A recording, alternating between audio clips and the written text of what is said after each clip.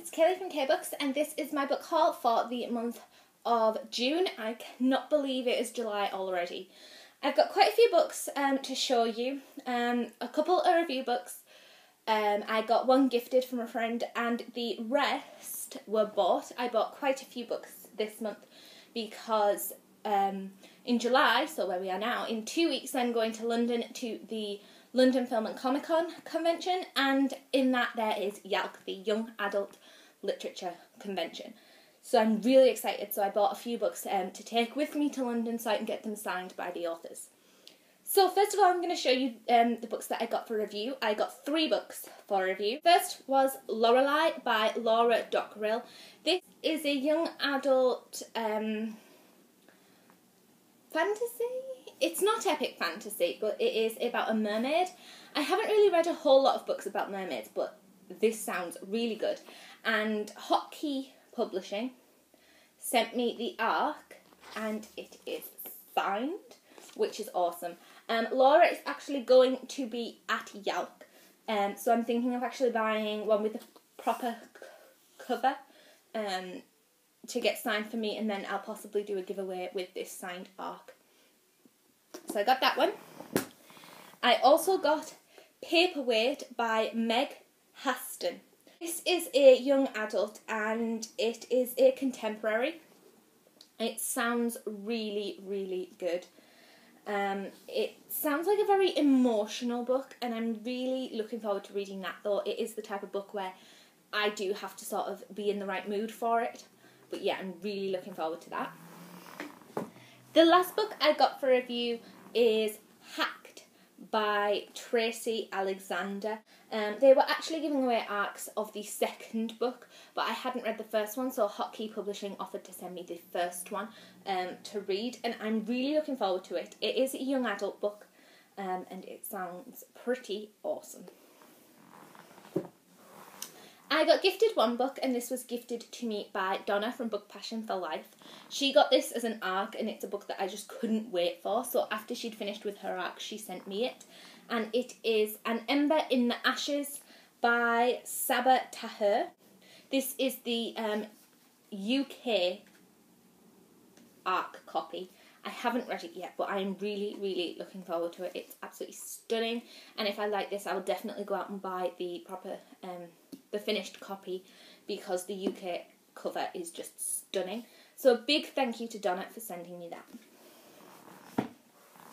Um, the rest of the books were ones I bought. Most were for YALC, but there is a couple in there that um, were just because I wanted them. The first one is Crow Moon by Anna McKerrow.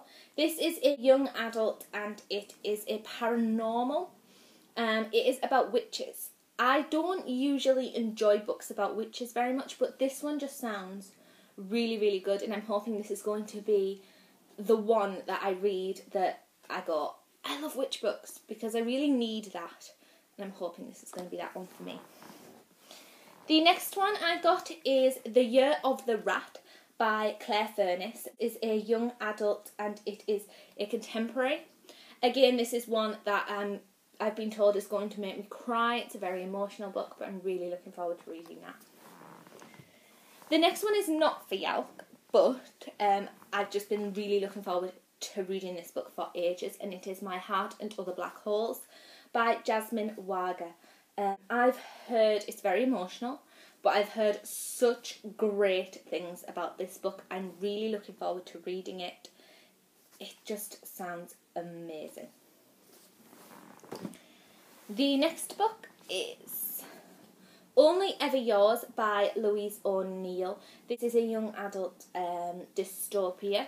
I've already read this one, um, so tune into my video that should be going up um, today or tomorrow, um, which is my wrap up post to see how I felt about that one. The next one I got is Remix by Non Pratt. Non Pratt is fast becoming one of my favourite authors. I there are no words to explain how much I adored Trouble. It was just absolutely stunning and amazing. Um, so yeah, remix. I've already read it. I loved it. It's fab. The next one I got is City of Halves by Lucy Inglis. This is a young adult and it's a paranormal urban fantasy type of book. I'm really looking forward to this, especially since it says a must for fans of The Mortal Instruments.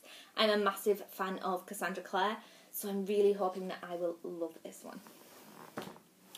The next one I got is The Shadow's Curse by Amy McCulloch. This is the second book in her duology. Um, I have the first one, um, The Oathbreaker's Shadow, and I got that one signed at YALC last year, but I didn't have the second one. And Amy is going to be there again um, this year, so I decided that I would buy the second book and then I'll have both of them signed. The next one I got is The Potion Diaries by Amy Alward.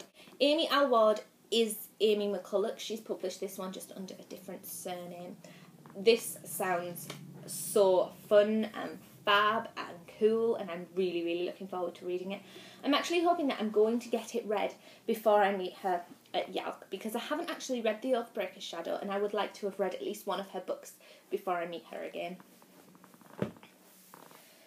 The next book I got is Angel Fever by L.A. Weatherly. This is the third book in her Angel trilogy. I love this series. I read the first two as arcs when they came out, and I don't know why I just never ended up picking up the third one. Because after I finished the second one, I was like, oh my god, I can't wait to see how it's going to end. And then I never ended up getting it. Um, I have just finished reading this this morning, and it was so good. I'm so sad it's over, but oh, this is a series that y- you just have to pick up. It's just phenomenal. And the last book that I got this month was The Orphan Queen by Jodi Meadows. This is a young adult fantasy. I absolutely adore fantasy books, and I have never ever read anything by Jodi Meadows. Um, and I'm really, really looking forward to this one. I think it's going to be pretty awesome. So I'm really looking forward um, to getting stuck into my first Jodi Meadows book. So that's all I got in June. Um, if watch for my wrap up video for June for the books that I read and what I thought about them. Otherwise, I will see you next month with what books I got in July. Thanks for watching. Bye.